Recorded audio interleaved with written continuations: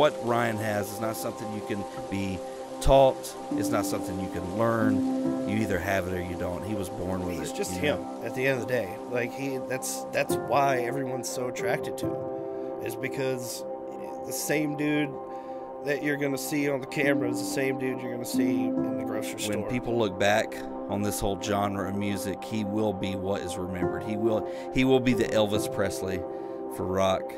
Um, for this genre, there's no doubt. because he really is that guy. He's not some painted picture. That's why he's church, and that's why he's done it 100% the underground It's way. just so crazy to know that this kid from down the street from my little hometown, which I thought was a small town, this is just like it, you know. He's he's just killing it like he is. So it's it's amazing. It's so crazy. He's real. He's authentic. He's the real deal. He's not faking it.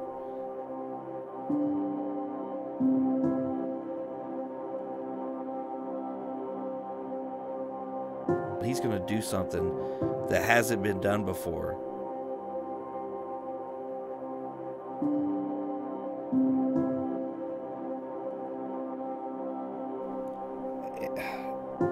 But his fans, I mean, I don't know, man. They love him. They hang on it every word he says. He he definitely is. He there he's their he's their voice Uh, because he really has a voice and he really does use it through Instagram and through all the mediums that he has.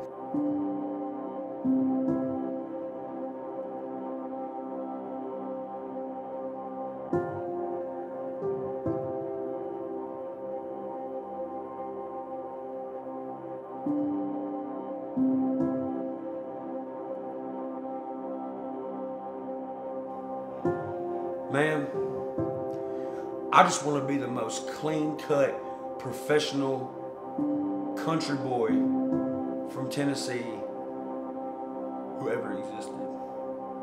I want to be the most diverse artist that ever existed. I want to be I want to be the dude who fucking killed country, killed rock, killed rap. I want to be that dude where they were like, how the fuck did he go from being a broke ass painter with no high school education to being this motherfucking crazy ass weird musician guy who can fucking make anything and speaks to people's soul and makes you believe in yourself through a song. That's what I want to be known for. I don't give a fuck about my cars. I don't give a fuck about real estate. I don't give a fuck if you think I'm fat, ugly, got too many fucking tattoos, teeth are fucked up. I don't give a fuck what you think about me.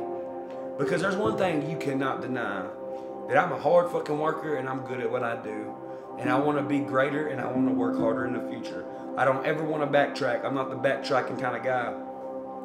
And even after I'm dead, I still don't want to backtrack. I want motherfuckers to be like, who in the fuck was this dude? And why in the fuck did I know about this guy when he was alive?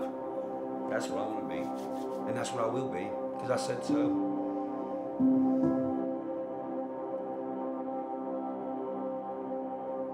I knew. I just knew. I knew from that moment. Um, I, I knew that Ryan was going to be a star.